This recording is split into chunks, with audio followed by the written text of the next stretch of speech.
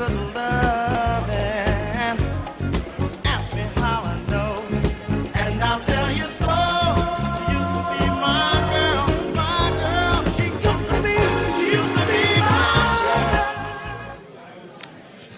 evening. Ooh, it's a hot mic.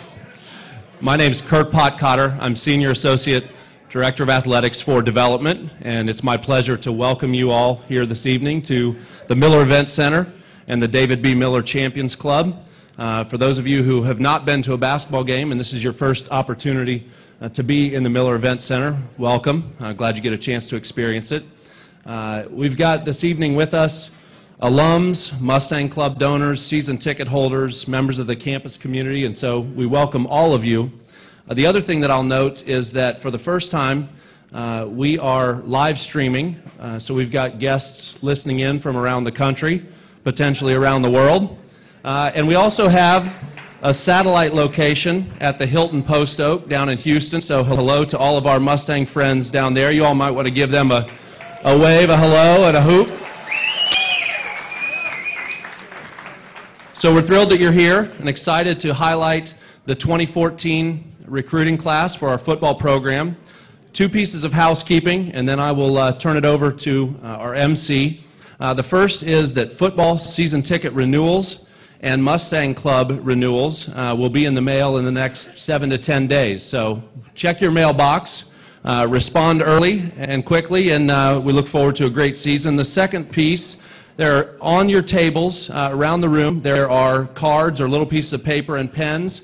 Uh, so as we get to the Q&A portion of our program later in the evening, if you've got questions for Coach, go ahead, fill those out, and then members of our staff will be circulating through the room uh, to pick those up and, and get them uh, to Gary for questions. So without further ado, let me turn it over to our MC for the evening, Mr. Gary Cogill.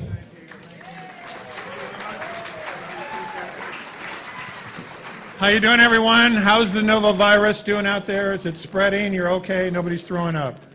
You, you look like the Golden Globes. And this is where high school and college mingles, like film actors and television actors. My name is Gary Cogill, and I am a Mustang fan. We welcome you to the 2014 SMU NCAA football signing day. I love this day. And I know you love this day because you're packed in here. And do you love right now SMU basketball? I'll probably bring this up with Coach later, but don't you think just logically, sitting in this room, that basketball helps football and football helps basketball? We appreciate the simulcasts down south today and all the people that are watching, especially down in Houston. Uh, here are just a few remarkable notes and recruiting details from today. We have signed the number one fullback in the nation. We have a six foot four inch wide receiver. Thank God. We have at least one or more 300 pound offensive linemen. Thank you.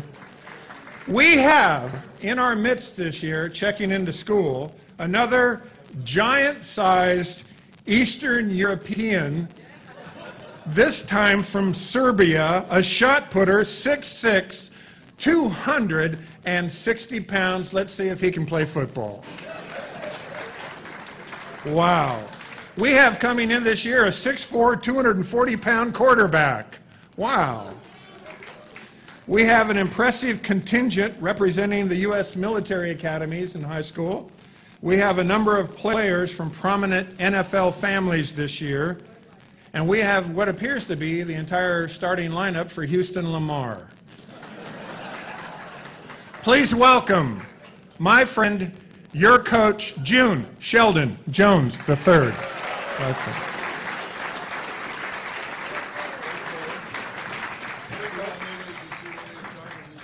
We're going to sit down right now. We're going to gab for a little bit, and then you'll, you'll run through Is this thing on? Check, check. Yeah, it's on. They'll, they'll pot it up in the back here. Okay, beautiful. If not, somebody will come up and make this happen. Check, check, sibilants, Fifteen, one, two, sibilants. Check, Bueller. Bueller. Anyone? They'll figure it out. Well, they'll, they'll get here. Uh, can we, oh, here they come. Oh, it's Robert Lee Cobb. Ladies and gentlemen, uh, legendary rock and roller Robert Lee Cobb right there. Oh, mics are coming in. There you go. Thanks for twisting the much. microphone, Ro- Robert. We appreciate that. We're going to talk for about 10, 15 minutes, then Coach is going to go through the recruiting class. And while he's going through the recruiting class, we'll start collecting, there's a few people in the room that are going to collect your questions, and then we'll come back and do uh, Q and A after that. Uh, A few things for me. Can we go back to the end of last year? I- I want to bring up some of the obvious things, but that had to feel like a major disappointment at the end of the year, not making a bowl game, uh, you lose your quarterback, and then you get Neal Burcham back in there, and you get in that UCF game, and it's starting to look good, and then he goes down. I mean, that's just a lot to handle in the last two, three games. Well, it was, it was frustrating. I, I think, uh, I told, uh, said this the other day, we were talking about the uh, Houston game. I think that I made a mistake in playing the fast-paced game and not slowing it down once uh, uh, Garrett went out. Uh, I thought that if I had taken uh, Neal and taken him a little slower, we probably, uh, I mean, we were, we- until we had the bad snap, we were going to be in that game competitively, and I think we would have a shot to win the Houston game. And then I did slow it down a little bit for him against UCF, and he played good enough where we had a shot to win the game. We just uh, came up a little short. Did you, uh, did- how, how did that feel after the triple overtime loss to Rutgers?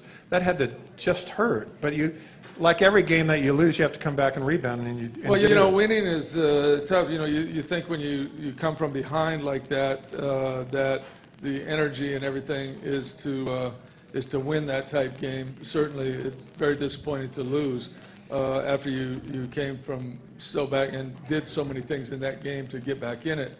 And then we kind of gave it to them in overtime. We had, I think if I remember correctly, we had two or three shots uh, on fourth down, and we stop them one time, we win the game in that, in that last overtime. And then, you know, we had a couple chances to, to make plays, and we didn't make them. But, you know, that's, uh, that's frustrating, uh, obviously, but the kids hung in pretty good. We, they competed hard.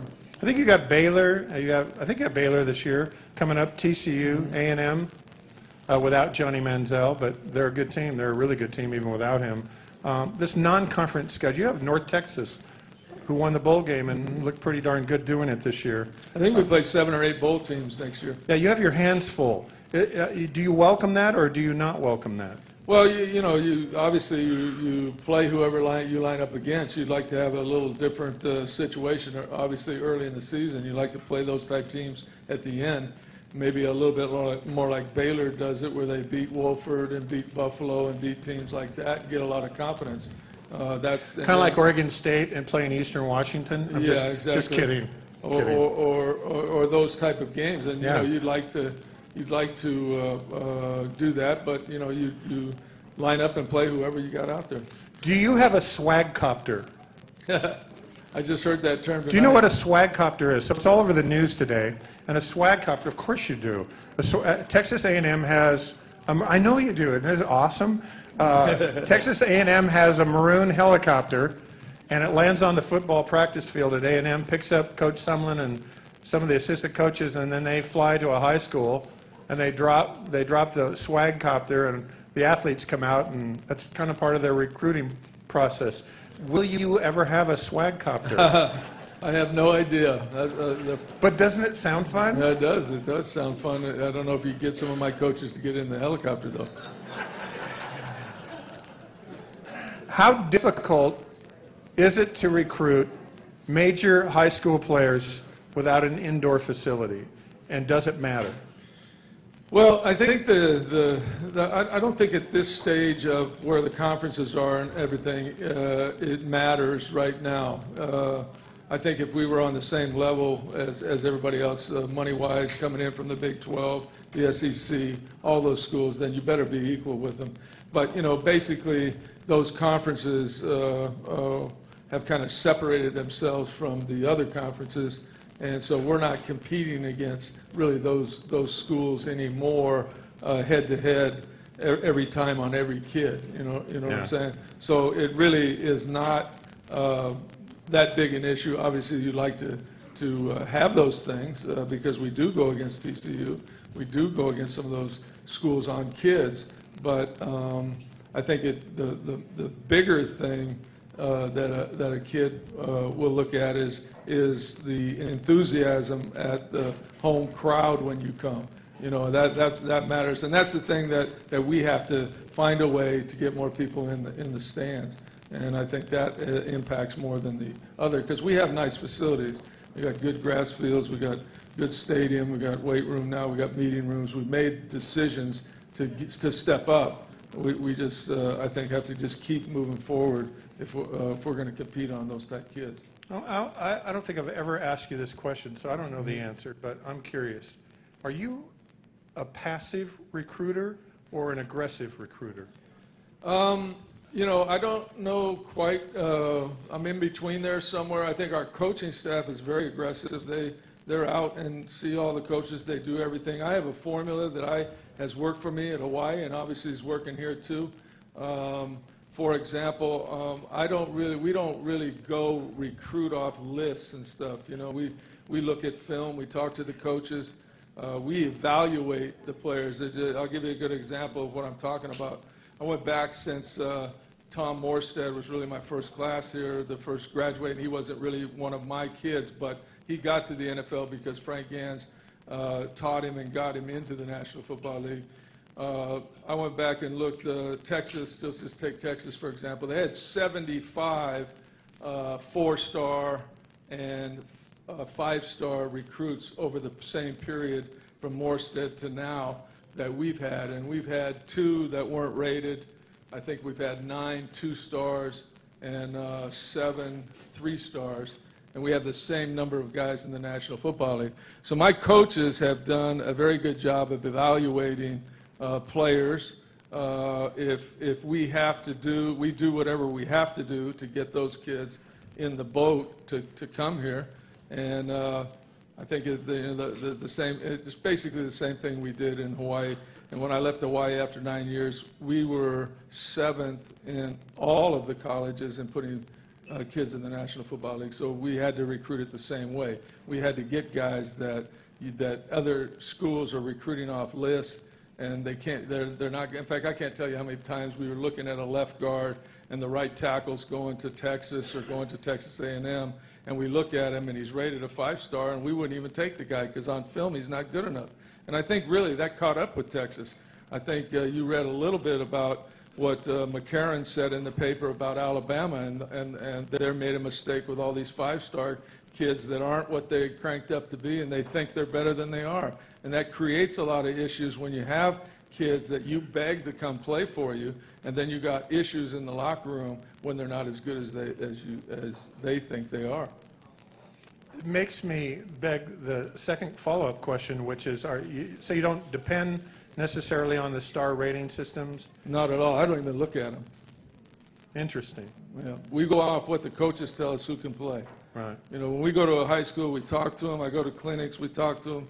When the coaches say, these five guys we think have a chance to play at your level, then we go evaluate those five guys. We watch them in practice in spring, we watch them on film as juniors, and then we watch them in their senior year. Sometimes we'll offer them in the junior, you know, after their, the spring, but at the same time, um, we really pretty much just go off what we see off the film. Uh, Last couple of questions. I know you had a lot to do with Larry Brown coming here and your conversations with him, but aren't you loving the basketball excitement right now on Oh, this it's campus? awesome. And I- doesn't it feed football? Oh, Doesn't it help? definitely does. In fact, in fact, Ladies and gentlemen, the great Larry Brown. Ah, what's up, brother? How you, uh, you, you coming over? Awesome, good. Say word. no, I tried. uh, Larry and I talked this morning, and I, I, I told him for the first time we had a huge recruiting weekend. The atmosphere against Memphis was unbelievable. Yes. It's really, really the first time that they, the recruits feel a college atmosphere like that, like they do on other trips, and it's because of this guy right here, and I appreciate him, as all of you do. Thanks, brother. Yeah. I, uh, you know, I, I came here um, last year, uh, and I think the main reason I came here uh, was June. Um, I just, I just was speaking to a class today, a media relations class, but um, which I'm not very good at. But uh, but uh, June told me, you know, Larry, you, you, you guys have done some neat things in your life in coaching, but if you come to SMU, um, everything's really in place. Uh, we got a great school, we're in a great city, you're going in a great conference, and I think if you do things the right way, um, this will be the neatest thing you've ever done. Um, and uh, I'm, I'm starting to feel that now because uh, we do have an unbelievable facility. And, you know, last year, even though we had 12, 1,400 people, the people that did come were pretty darn special and pretty supportive. Um, but when we walked in the gym and played Connecticut, uh, I, I, I couldn't believe, you know, the kind of environment. I was so proud, you know, for our players to be able to play in an atmosphere like that because every, every kid wants to play in a stadium that's full. There's some interest and enthusiasm. Um, there's some things that I think we need to change, like uh, after we lost to Louisville and Cincinnati, I'm walking down campus and everybody's telling me, way to go, coach, we really competed. Um, I, I don't think I don't think coaches want to hear that. And then um, the other night when we were getting ready to play Memphis, we have a, a girl that works in our office, North Carolina girl. Um, her name's Lucy Brock, and she's a freshman here. I said, Lucy, you coming to the game? It's you know Saturday. We're playing in Memphis. We're playing Memphis. She said, No, we have a chapter meeting. Um, I said, Wait, wait, wait, wait. I said, You're not coming to the game because you have a chapter meeting. So I, I said that at my press conference. I said, I'll know that we've made it when all the sororities and fraternities call off their chapter meetings and come to the game. So, so this, is the, this is the last thing I'm going to say. Uh, She came to my office today and told me there'll be no more chapter meetings when we play. So she's coming tomorrow night, so I'm, I'm thrilled at that. But uh, he's the best. I was so excited when I, you know, I, I saw the list of kids we have. Um, he's he's made this place special. He's set a high standard for us, and uh, he was right. I, I think this place is pretty darn special, and I think we're all proud to be part of it. Thank you so much. Basketball coach Larry Brown. We'll be there Thursday. Thank you, coach. That's pretty cool. I, I like that. That's better than a swag copter. Larry's better than a swag copter. All right, last couple of questions. When you, when you, I think you can say this publicly. When you go to recruit and you walk into a home and there's a parent there and a child there, and you want that kid to come here, what's that moment like? And is every moment in every home completely different? Well, again, I do things a little bit differently. The, the home visits, usually the, what happens at the level we're at now, you get the commitments. And the coaches know whether I need to do home visit or not. If, I, if it's a home visit that they say, June, you got to do this home visit, then I know that we got to win tonight uh, to get, you know, to, to get the kid. I would say uh, the number of home visits uh, that are in that situation in this day and age in recruiting are not as much for, for, the, for where we are. Uh, but I will say this, that usually when we do the home visit, when the kid's on the fence, we win. And, uh, you know, the coaches have done a great job to get it to that point. And when we, when we get into the house that way, we usually can convince the kid that this is the place he should be. Well, this is the time we've all been waiting for. Coach, will you take us through all the recruits? Sure. And then when we come back, we'll do a little Q and A with the audience and those down in Houston. Awesome. All right, Coach Jones and the recruits of 2014. Here we go. That was a smattering of applause. That was, that was a really weak smattering of applause. there. All right. Uh, I think we're in alphabetical order here. I, I'm going to just go off this. The first kid on, on our list uh, is a uh, linebacker from Pearland. He actually grew up in Detroit. And uh, we had a call, and you're going to have to, because I understand that you got fewer clips on here. I haven't seen this piece, but uh, we uh, had a call. We, were- we were planning as a staff to kind of keep three or four uh, scholarships because every year, this is kind of the first year we've had some depth in a lot of positions, and we're going to keep some because a lot of transfer. We keep getting calls from kids like Garrett's situation. We got two calls from a from two kids today that, that have two years left to transfer. So we were going to keep those scholarships to try to see if we could get some of those six-year guys. And uh, the what happened was Rich Ellerson, who I played for or played with and coached with and known all my life, uh, uh, was at Army, and obviously he's part of the, the thing that happens. Coaches get let go. And uh, he said, I have three kids that are big-time players that you need to look at. Well, I was thinking we'd probably end up with one of them, but then after we kept looking at them, we kept going through it. And the first one here is the linebacker. He's six foot three or so, and he's about 224 or five right now. And and uh, he's probably going to be a 235, 240 guy. Can run like the like deer, and and can just play. And we need an inside guy, so we ended up with Elijah. He's from Pearland, and uh, he's a very very good football player. And one of the things about all three of the academy uh, prep kids, they're all athletically good players, but they're very, very good students, as you can imagine, just being able to get into the academy. So that's even better. Uh, the next, I don't know, are you on Elijah still here? Evan Brown. Evan Brown, uh, uh, you know, we, he, we offered him very early. He's, he, he, uh, we, we offered him, and he, uh, their coach uh, uh, said that he is the best football player, that best offensive lineman he's ever had. We saw it right away in our camp. We really liked him. He's very, very strong. Uh, he's done. He's he's played uh, just unbelievable for Southlake, and of course their winning program is is is unbelievable. But we're really excited about Evan. We're excited about all our offensive linemen. But one good thing about the O line coming in, they're all coming together, and they're going to play together for for four or five years, which will be pretty pretty neat. Daryl Colbert, Colbert, we went to uh, see uh, last year, and uh, I really liked him off his junior film. I call him Russell Wilson. Uh, when I first saw him, I kind of thought that's who he reminded me of. He plays in a in an offense similar to uh, what Wisconsin played that Russell Wilson was in, and uh, he throws the deep ball real accurately, and that's what I really liked about it.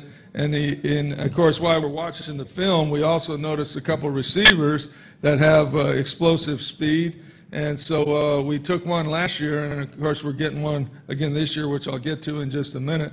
But Daryl is a, is a winner. I think he's lost since the seventh grade. He's just like uh, uh, Russell in that category. I think he's lost two football games or three football games his whole life. And uh, he's just a real competitive kid. That he's a runner. He can run, but he doesn't, he doesn't look to run. He looks to pass. And uh, that's what, what uh, excites me about him. And you can see uh, here a couple of his throws, obviously. Uh, Darius Durrell uh, is a young man that we found out about through a couple of coaches that had told us there was a kid that had transferred to South Houston. And this kid has really good quickness, as you can see, and he's a, uh, probably a 4'5", 4'5", guy and he uh, uh, has gotten bigger. He, he's listed here at 183, but he weighed in at about 200 pounds. He kind of looked like a Barry Sanders build, but he's very explosive. Uh, he can make guys miss. He catches the ball. Jason and I thought that he could play either slot or be kind of the undersized running back for us also in some of the things that we do. Um, so it's, it's kind of a uh, I'm excited about him. He, uh, on these tape too, he does all the runs that that uh, you see that we do. He plays in, in the one back system, and uh, it's very very productive. But he's got the he's got some really good, good quickness. Michael Epley. Michael Epley. Uh, this will be a good tape for you to watch. He he's a defensive end, and he's kind of a tweener size wise, but we he plays with his hand on the ground a couple times, I don't know if they put him on here, he has his hands standing up also, but he is a real, real aggressive, quick, uh, off the ball uh, football player. He's, he, he's, he was MVP of his team. He uh, is a winner. We saw, uh, we saw him the first time, and he just can make all kind of plays, and you can see he can close to the ball. Uh, he's kind of a, a edge guy uh, also, and he'll play with his hand on the ground for us, but you're going to see a bunch of different things on this film that he does. Um, he's very explosive, and usually those guys that get off the ball and can get the edge like he does usually end up being pretty, uh, pretty good defensive ends. This next kid, uh, uh, you, I think you guys all have heard the story on him. We, we saw him when we were recruiting his quarterback that uh, we did not get, and uh, we, we were aware of him, but he had, uh, had been a kind of an early commitment. Uh, everybody was on him, Florida State, Alabama, Texas, and he committed to Louisville, which kind of surprised us, but uh, you know, that kind of said a lot about him, too. He was more into to who uh, guy I was. Well, when that coach went to Texas, uh, he called and was going to change his commitment to Texas, and uh, the, the new coach told him that uh, they were full. So uh, when we read that in the paper, we called the coach, and Dan had, had has a pretty good relationship with their head coach on kids, and, and so we got in the got in the hunt and then uh, when we got him over, he, he uh, we could tell that he really liked, uh, liked us and uh, liked what we were about. And then when we had him on the visit, uh, we knew on Sunday that he was going to come join us. But he's a big time player. I think he's one of those guys that runs like a little guy and blocks like a big guy. And he's got probably four five ish speed at 240 pounds, but he, he's a really good football player. I can see why those uh, big schools were definitely on him. Braylon Hyder was another kid when I saw Daryl uh, last, last year when I was down uh, in Houston on bye week. Uh, this kid is uh, uh, a really, really active football player. We think he can play center or guard for us, which is a real plus.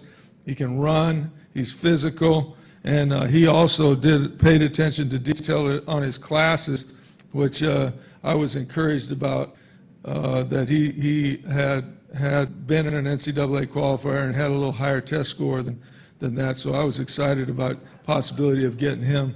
But you can see he's, a, he's got a mean streak in him, and he's, uh, he's very athletic. His father also uh, played in the National Football League, too.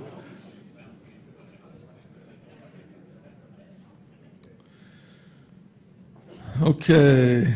Jordan Ingram. Jordan Ingram is from Carter. Now, this is a, a kid that was highly recruited, and, and we were asking about home visits. Uh, that he definitely was one that was on the fence that, uh, that uh, Jason and I went to see uh, middle of last week.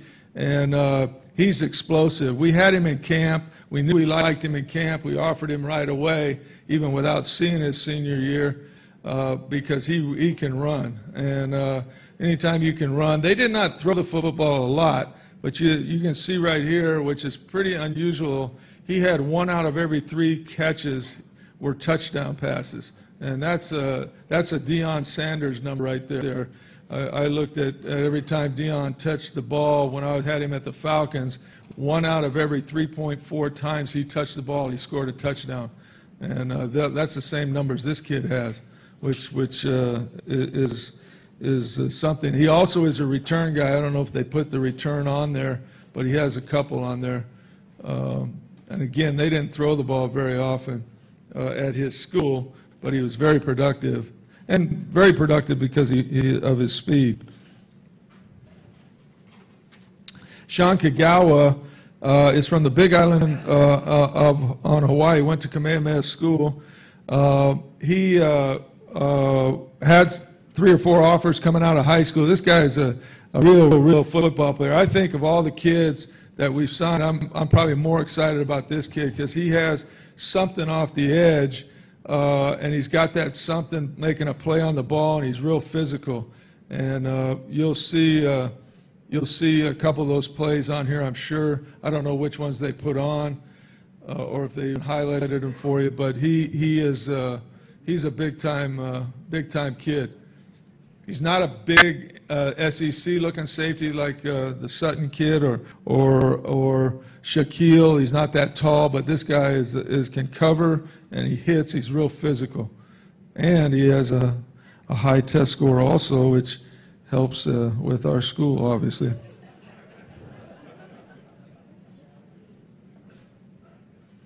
Again, all the uh, academy kids are, or you don't really have to worry about them. Uh, they, they usually are what they say they're going to be.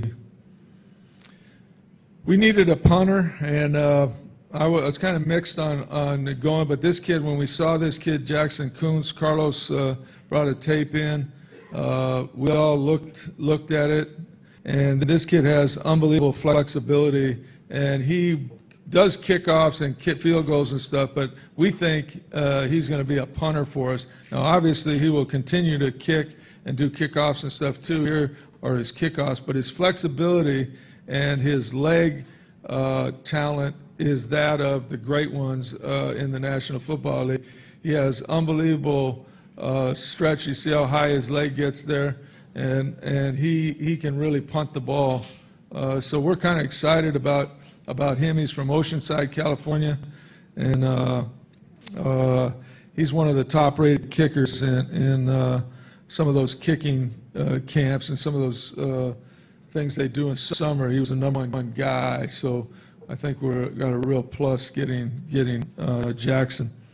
Kyron Mitchell is from Lamar High School also, and he fits the mold of Taylor Reed, uh, kind of inside linebacker. He just gets to the ball. He has uh, that gear. He has the uh, real good, real good uh, body control on tackling. You'll see it on pretty much all these right here. He is uh, fast. He's going to get bigger. Uh, uh, right now, I don't, even know what we weighed him at. I think it was around 200 pounds. But he'll end up being like Taylor Reed, probably 215 to 225, somewhere in there after his freshman year. But the thing he can do is run, and he can close, and he, and he has great leverage on his hits. And uh, that's, uh, you know, you, this is one of those things when the film doesn't lie. When you look at kids like this, they make plays. And obviously, this is not a, you know, he's a, he's a kid that uh, it has it in his genes also. He's, he's, uh, he's uh, Johnny Mitchell was his dad, and uh, he, uh, uh, he's got some skills that, that the other guys don't have. So we're excited about getting him. I would anticipate that he'll probably redshirt just to get a little bigger. Nick uh, Natur, uh, we saw, we watched about four, five films on this kid, and, and he is a good football player. We think he'll be competitive right away. He's size-wise, he's, he's almost 300 pounds. He's very conscientious on everything he does. Very physical guy. Uh, we, we think he could play guard or tackle for us. Um, and again, you know, here's a guy that, that you just have to watch on film just for a little while and say, man, this guy, this guy can play. Um, and, he, and, he, and he loves the game. He work, he's a workout guy. He's a weightlifter. Um, you know, he's just one of those guys that, that, that gets after it.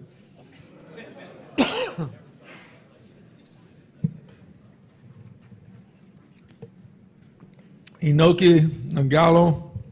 Inoki is uh, one of the best linebackers I think that we've looked at on film. That uh, far as making plays, he has uh, got. Uh, I mean, he's got it all really. He just finds the ball and he's got leverage and he and he can run.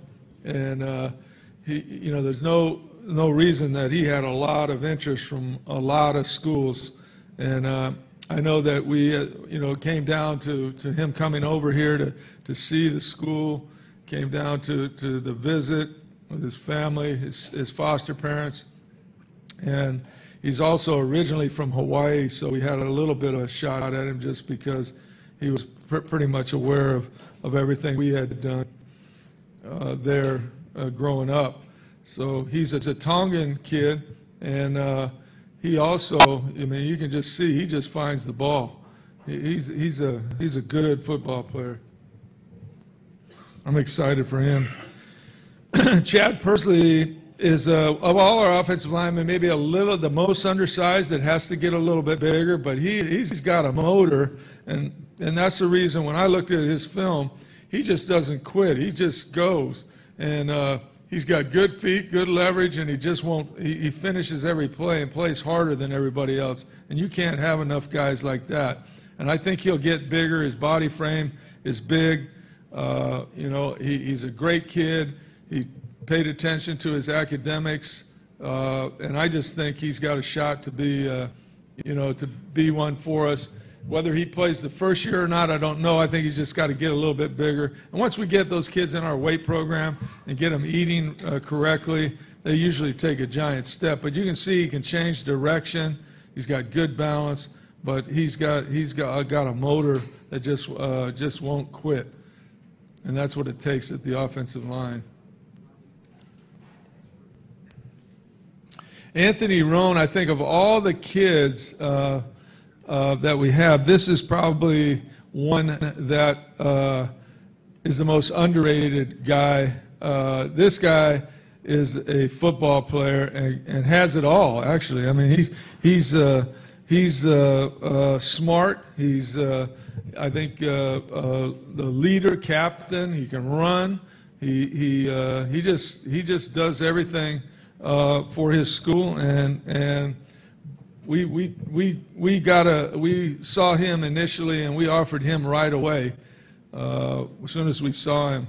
But he he can go sideline to sideline. He's got a smile on his face all the time. He is he's just a great kid and a good football player. Tony Richards. Uh, Tony, we, we watched as a junior, but we didn't have any really tape to evaluate him. He came to our camp, and uh, he has a lot better feet than his dad. And, uh, and uh, uh, I knew he had the genes in his dad when I watched his film finally, because we told him after uh, we wanted to look at the first five or six games, and we got a highlight tape, and I can tell he's got a little mean streak in him, just like his dad had. Uh, but he's going to be a great pass protector for us. Uh, he's got great feet. He's smart. He's got long arms, and he, he uh, you know, I'm I'm really excited for him to to get on campus and really. Because his best football is really ahead of him. He had a great senior year. In fact, I think he was voted North Texas Offensive Lineman Player of the Year, I believe. And uh, uh, but you can see just by watching him, he has got the frame for a for a for a top tackle in the country, and I would anticipate that he'll just get better and better and better.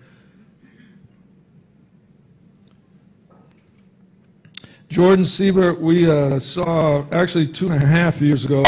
We had him in our camp, and we really liked him. Dan and I both liked him. He was the best quarterback we had.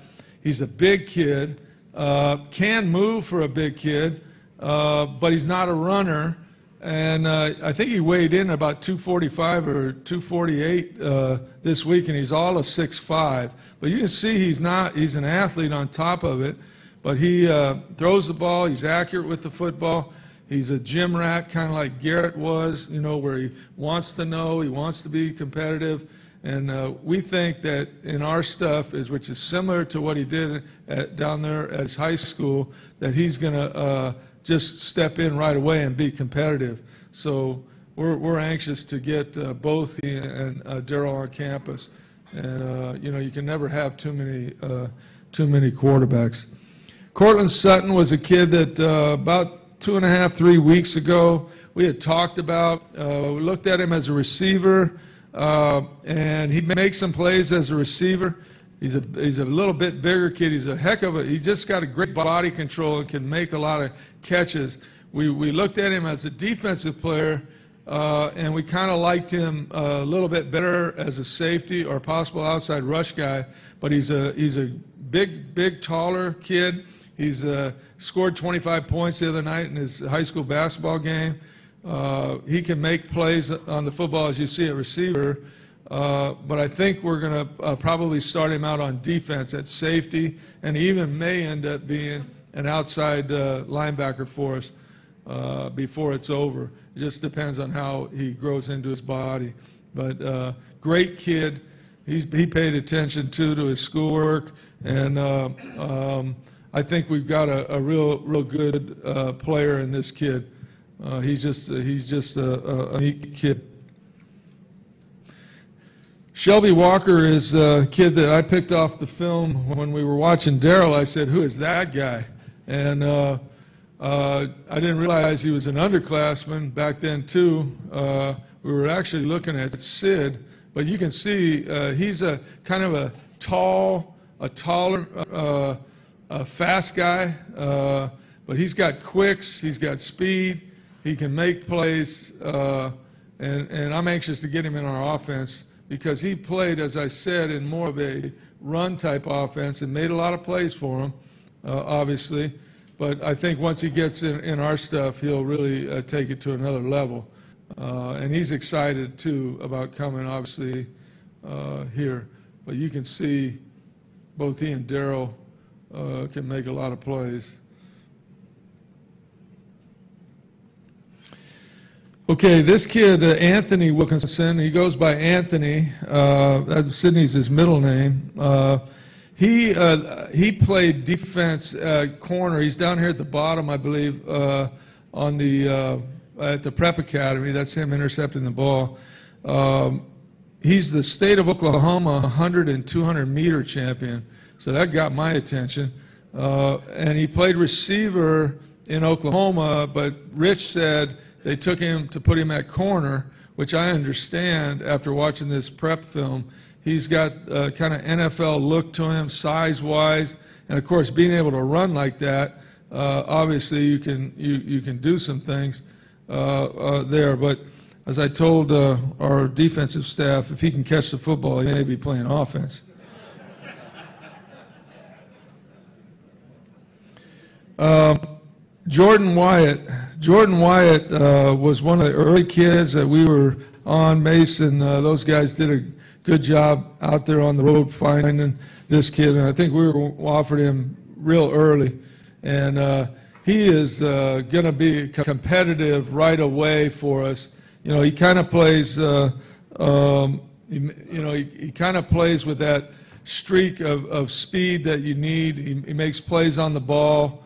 Um, he, he's a, he's a, uh, uh, uh, another guy that's a bigger looking defensive back, you know, rather than a five-nine guy.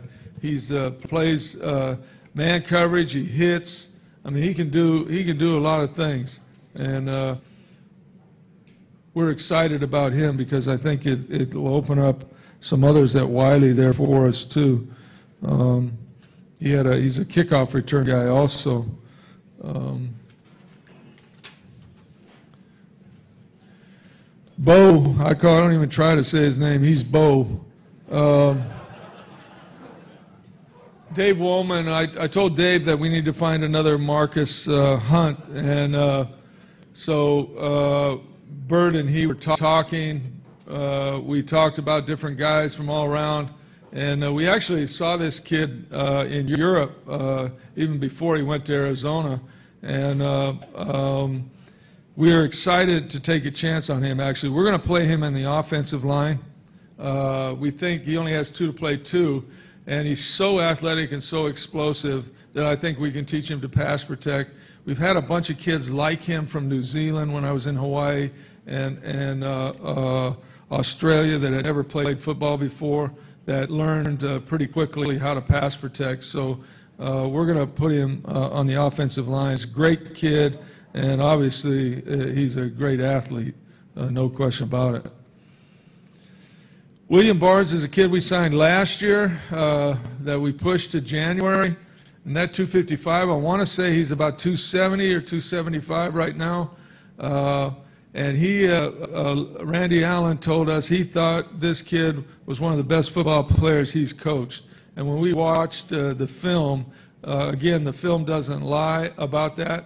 He's, uh, he's obviously very, very uh, smart. He's quick. He can make uh, aggressive blocks. He can make the pass protection blocks. Uh, Randy said he'll make all the calls in the offensive line for us. And, uh, you know, I know he wanted to, to come last year with us, but I think this is really going to be a, a blessing for him. He got a chance to get a little bigger and to get to know everything, and I'm anxious to see him compete this spring. But I think he's got a real shot to get on the field for us, too. Uh, and that, that'll make everybody better because competition uh, certainly uh, makes us all play a little bit better. Caleb Tuiasosopo uh, was born in Pago Pago, Samoa. He's from Samoa. He uh, went to uh, actually up into Washington, I believe, to start in, in high school and college. He, we found him at Tyler Junior College, uh, which I was thinking that he came. Uh, he went to Tyler, coming from straight from Samoa, but he, he ended up uh, going there from uh, the state of Washington. He's a real physical guy. Uh, we were a little bit concerned with some of his injuries, but he hits and he's got an attitude, and a real aggressiveness, and he's smart. And uh, he's also has a good bloodline of, of guys that have played uh, in the National Football League. And uh, he's on campus right now with us. He graduated which gives you a little bit of idea that, he, that he's what type of kid he is to be able to come in in January. So we're uh, really excited about getting getting he and uh, some of these linebackers on the field for us because we're losing some pretty good productive players for us.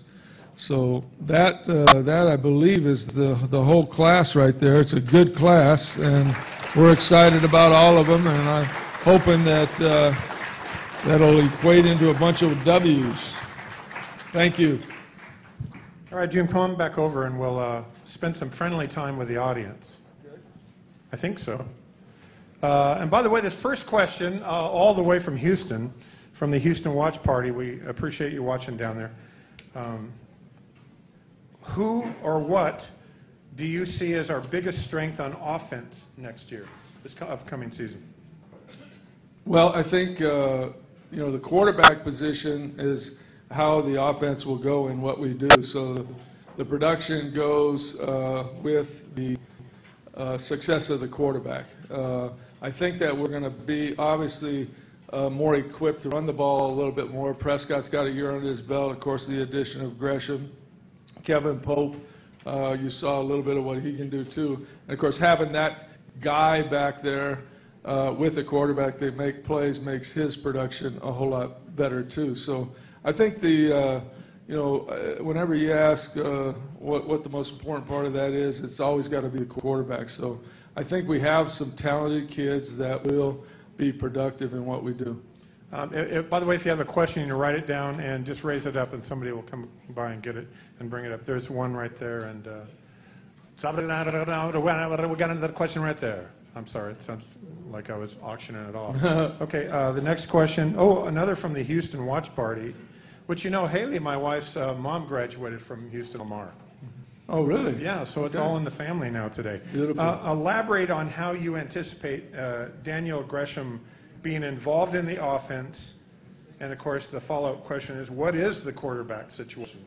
Is is Neal Burcham your starter going into the, Well, it's wide open uh, right now. The best player, you know, plays. This spring, we'll have four kids back there taking equal reps. I'm, I'm really kind of excited about uh, the, the the Cassel kid from, from Kolney from uh, Seattle. Uh, he has showed really, really good accuracy and good arm strength, and so he's going to get a real shot. I think he and Neal will have a little bit of a head start just because they've got a, uh, Neal's got two years under belt, and now uh, Kolney got, uh, got one. So those guys will have obviously a little bit of a head start, but both of them are very talented and productive, and if they can throw it to the right guy, will be pretty productive too. you you got the number one recruit fullback in the country, Uh-huh. rated in the top 50 in all running backs, Mm-hmm. with the number one fullback. You anticipate him playing, or? I would anticipate he'll be on the field this year, yeah, just looking at his high school tape. The biggest thing is, uh, you know, being able to block, and there's no question when you look at game tape, he blocks. Uh, so I don't, I don't, he's kind of like Prescott. I think uh, his size uh, allows him to be competitive right away. And then he runs uh, the football, I mean, pretty good for a fullback, and he runs like a little guy sometimes, so he's got four or five speed, and and he can do, uh, do some things that the little guys do. So I think, yes, to answer your question, he'll get on the field. You know, June, just like you in real life, we're all today connected to the World Wide Web. And this is our first question via email tonight. Uh, Is there anything you can share about how the class of 15 and 16 classes are looking? And I've read some coaches discussing the importance of building relationships early. Yeah, we've already offered, uh, uh, well, I can't say we can't offer them, but we know who we're going to offer, uh, you know, before the, uh, the time comes September 1, I think it is. Uh, But we, we already have a list, we've already been in, in fact, really, this fall since probably late November, we've been in looking at juniors, not the, the- this coming class, because we already had the commitments pretty much uh, that we wanted. A couple fell in there late only because we had scholarships that we were holding, but in reality, we've been, most of the time, the coaches have been spending on the road has been looking at 2015 kids. Do you normally get whacked out emails from this group at your desk at your office? Uh, no, I don't get too many. You don't? I Really? think Terry filters them for me. Okay.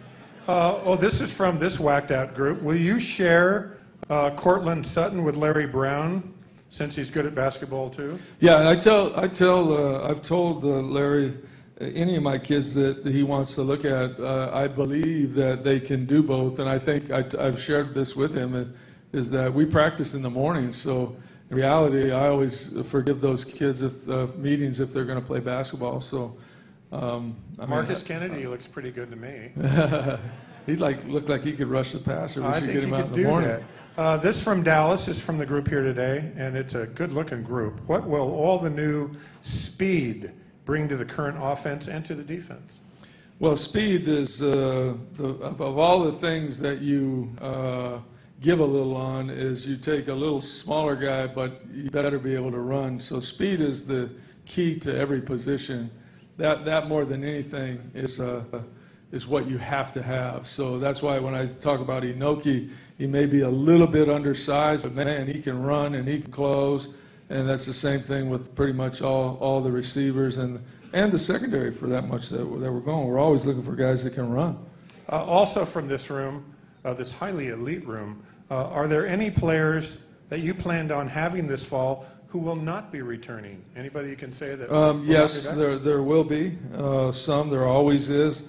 Those kind of sort out after uh, spring grades and so on and so forth. But yes, there probably will be. Okay, no, no names to give us today. No, Yeah, Tuiasa Popo will be here. Well, he's already here, yeah. Yeah, all right, nice. Uh, Will you bring back the weekly lunches with the coaches after every home game? And we don't know that yet, uh, but we will probably have three different sessions at Haley and I's home in Lakewood. So we hope all of you, Haley's a really good cook, and she'll probably cook all day for all of you, and- and we'll have that at our house. How many of you have actually, thank you, how many of you have actually been to dinner at our home, in our home? Yeah, that, see, there's, well, that's a, that's a very concentrated effort over there. Oh, right over there, and, it- and it was wonderful, wasn't it? Yeah. Are you the one that dropped my 1962 Willie Mays bobblehead? You know, it got dropped at the house one night. Oh, from the Houston Watch Party. Oh, and they're, I, I looked at them earlier, and they're very well dressed down there. Uh, any of them, uh, one of them dressed as the former Astrodome, which I thought was very difficult to pull off, considering it's not a holiday. From Houston, will any of the new recruits see playing time this year? From Houston. Um, No, just, just in, well, these new recruits, I mean, what's the percentage of new recruits that come in and actually get playing time in your system? Well, I would say that uh, the last couple of years, maybe somewhere from 8 to 12 probably don't redshirt. The rest of them do redshirt. And I would think that would probably be about the same this year. Because you have a lot of Uh, return, I mean, you have a lot of returning players. Yes, we do. We do. We sure do. You have a lot of Uh, experience. We've got young kids, too. That's, that's uh, the one thing. We only have, next year's class, I think, we- when we were counting them up, I think we only have eight or nine seniors.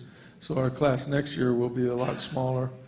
I think, I, I, still think we're all kind of collectively worried about quarterback. Just because, just, just because, because the, Neal Burcham's played, what, a game and a half or two, two and a half games? But we shouldn't really worry, or should we? Well, I don't, you know, you don't worry about it until you have to worry about it. Right now, I'm not worried about it because I think the kids can play. And I even think uh, the freshmen coming in will be competitive pretty fast. And, you know, you obviously have to do what they can do, I'm not going to give them all the things that Garrett was doing because they're not ready to do that type of thing yet. But, you know, I'm historically, uh, quarterback, we've gotten a lot of production out of that position, so I'm not really, that's something that I do know a Speaking little of bit about. Garrett, he's going to get a tryout with the pros and. Yeah, Garrett, I think, will get drafted higher than what everybody thinks he's going to get drafted. Uh, You know, I I was hoping that he could get to the combine. I talked to Joel Bussert finally on Friday last week, and it doesn't look like that's going to happen.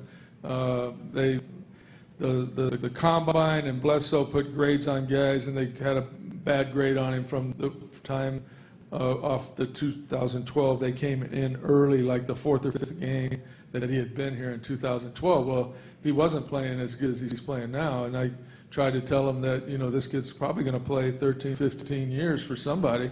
He needs to be at the combine.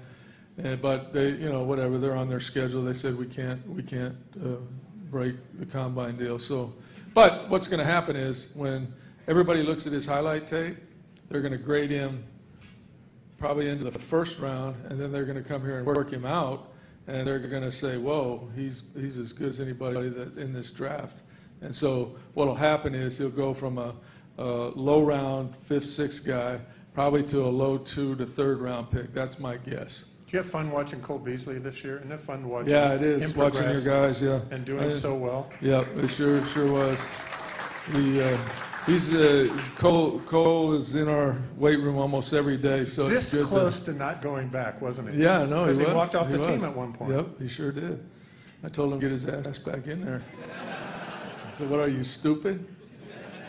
You watched the Super Bowl, so when you watched the Super Bowl, it was a blowout game. You know, if you love the Seahawks, and then that's like nirvana for you. If you love Denver, that's a painful game. Other than the halftime, which I thought you reminded me of Bruno Mars just a little bit, just, a, just a tiny little bit, but it would be Bruno with hair. And uh, but when you watch that game, um, what, what do you do if you're the Denver coach? You've coached the NFL, and you come out. You know, they they were uh, overachieved. Denver overachieved with all their injuries and everything, and of course the quarterback made everything better. You know, in that game when you have two weeks to prepare, you know, Seattle knew they could take out the wideouts. The wideouts can't run, so they took away the two guys and then doubling everybody on the inside. And so they Peyton couldn't get the big plays. About the only thing you could throw on the outside was fade stops. They couldn't beat anybody vertically, which in against other teams they they were able to still make plays on the edge. Uh, but Seattle's front four, uh, because of the injuries they've had in the offensive line in Denver, they just dominated. They could rush four guys, and and uh, you could tell Peyton was feeling pressure even when there wasn't pressure. And so as far as Fox, I mean, he just looks at it and knows they were they were a better team. and Seattle was a better team. I mean, they, they did a hell of a job just to get into that game and play as well as they played. Yeah, Seattle's a scary-looking team going into next year. They're just really good, and they're very Yeah. young.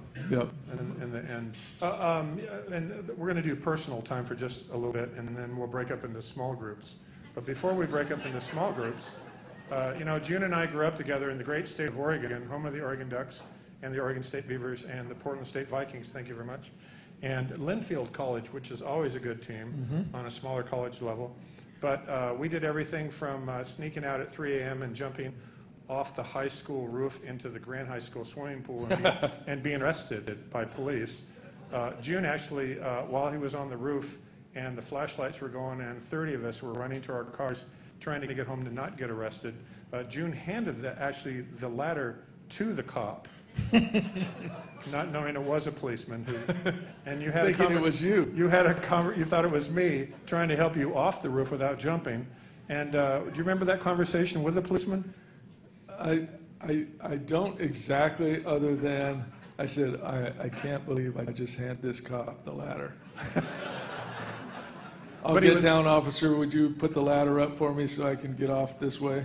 And, and knowing you with great respect for you know law enforcement, um, he let you go. He let me go.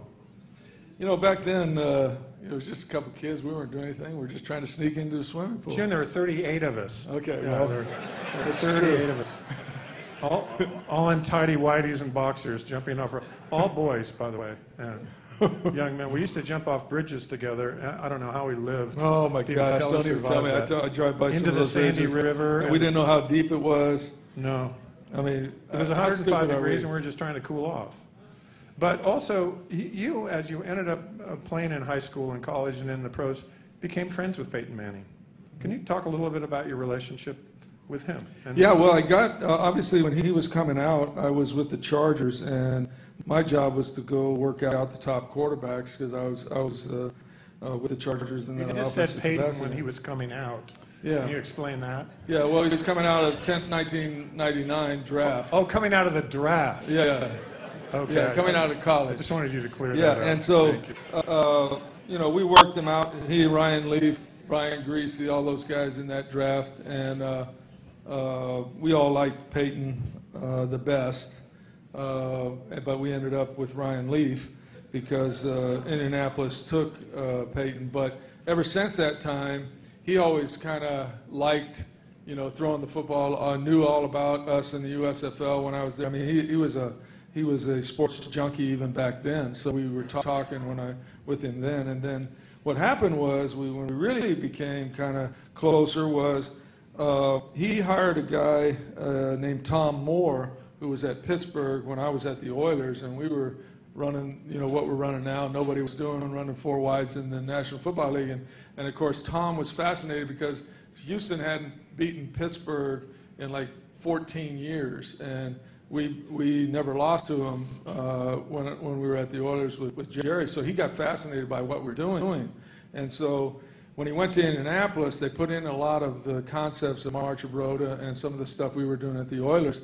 And so when Peyton would make the Pro Bowl every year, he would come to my office in Hawaii, and, and, and I'm saying to myself, this guy's on vacation at the Pro Bowl. He's going to sit here and talk for two and a half hours wa- watching University of Hawaii film, seeing what we're doing different. And I'd go back and look at the film, you know, next year, and he had put in one or two or three of our concepts, you know. And uh, so we became friends really through that, that time. And of course, watching him now, I, I played against his father. Uh, when his father was at New Orleans, I was in Atlanta. And so there's, there's, you know, you bump into him all the time at different things. That's so. an extraordinary family, but he's, to come off that injury and have that year that he had. Yeah, that's a pretty lot of incredible. That's Pretty incredible. I, I mean, I was hoping he'd win so bad. I was rooting for him. I wanted them to win, as probably half of America did, or over half of America did, just because of him. But it was just a you know a tough tough one to overcome. There, Seattle had a very very good team. Well, the last question, uh, oh, it's for me. Thank you. It's Thank from you. Houston, I think. No, it's actually from this group. Uh, Gary, when does your movie come out? Thanks for asking. So I know I've been annoying all of you ad nauseum, right, June, for Yeah, like three years? I've been So, you know, I left Channel 8 three years ago to make movies and, and decided to stop talking about movies. And my company, along with another company, made a film called Words and Pictures, starring Clive Owen and Juliette Binoche, Oscar winner, by the way, uh, for The English Patient and Chocolat, and Amy Brenneman and Bruce Davison, directed by Fred Schepisi, who directed Roxanne with Steve Martin, and it arrives in movie theaters in May. Thank you very much. Thank you very much. Filmed in Vancouver. We shot the film in Vancouver, uh, British Columbia, eh?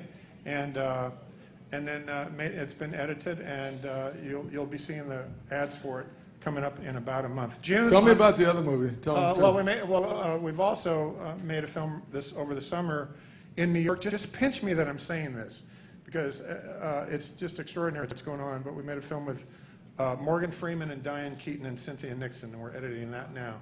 And then we have our documentary that half of you are in, and you should be very Highland afraid Park. right now, on the Start Club, 1985 and it's coming out probably in April or May. So on behalf of all of us, we call ourselves the 7th, 8th, 9th, 10th, 11th, and 12th man uh, on behalf of uh, 2014 signing day. Thank you, Coach. All right, We look forward Thank to a great always. year. Thank you. Coach June Sheldon Thank you. Jones III. Any final words? Uh, Now, since we're plugging things one more time, season football ticket renewals, Mustang Club renewals in the mail. We look forward to seeing you in the fall, and thank you so much for being with us tonight. Good night.